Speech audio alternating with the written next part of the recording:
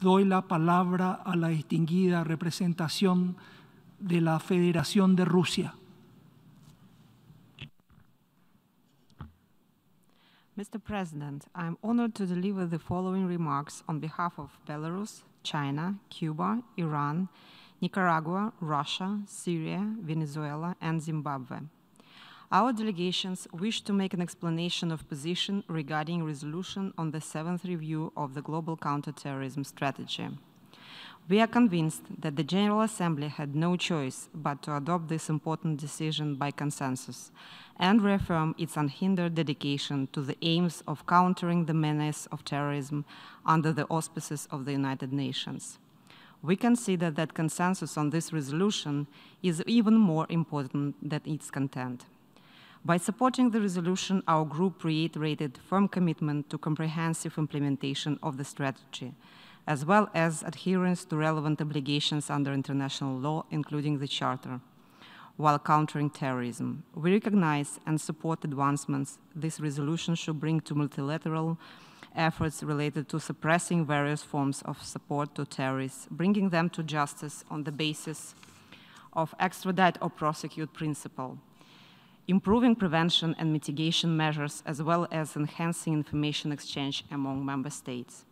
We stand in solidarity with all nations that have suffered from terrorism and continue to reiterate our readiness to support and assist our partners around the world in their efforts to counter terrorism in all its forms and manifestations.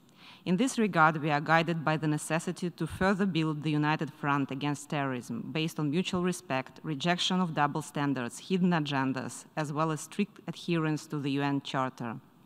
Unfortunately, Mr. President, the present review process has not lived up to the high ideals and expectations of all member states to this end. Namely, this resolution failed to decently address some of the most pressing contemporary issues, such as the obstacles to effective multilateral cooperation in combating terrorism, as well as the necessity to improve international legal frameworks in this sphere and advance their implementation. The text has been disproportionately boosted with human rights provisions and caveats. However, the proponents of this language prefer to refrain from accepting their own shortcomings, in certain instances violations in this regard. For example, we address the issue of returning children from conflict zones and protection of their rights. However, the language included in the text does not nearly reflect the seriousness of the situation on the ground.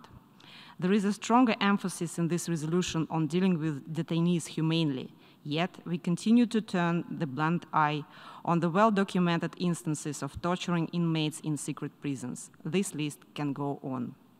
It was even more difficult to find solutions duly reflecting the positions of all delegations and realities on the ground because of serious deficiencies in the facilitation of the review process.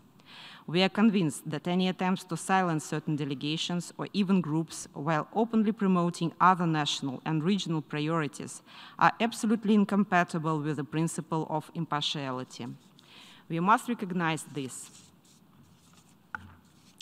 Attitude brought the Assembly to the verge of a first vote in the history of the GCTS consideration by the General Assembly.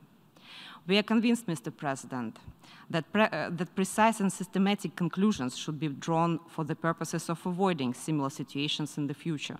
In particular, we would suggest to elaborate a set of rules to guide future facilitators in this process. It should reaffirm the need to respect the principle of sovereign equality of states and stress that facilitation of any intergovernmental negotiation process should be conducted in a non-partisan manner. I thank you.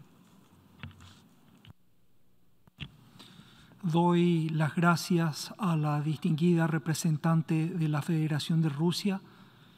Hemos escuchado